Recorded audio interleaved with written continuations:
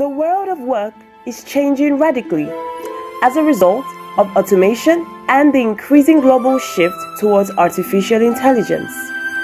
This is the future of work.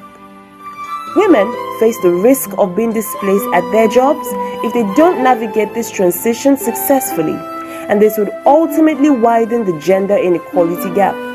Women therefore need to be tech savvy, have the right skills, and be mobile to prepare themselves for the future. Join me at the maiden edition of the Accelerate online workshop as we discuss with Funke Amobi on the future of work, practical strategies for the African woman to thrive in the digital era. Get ready for the future. It belongs to you.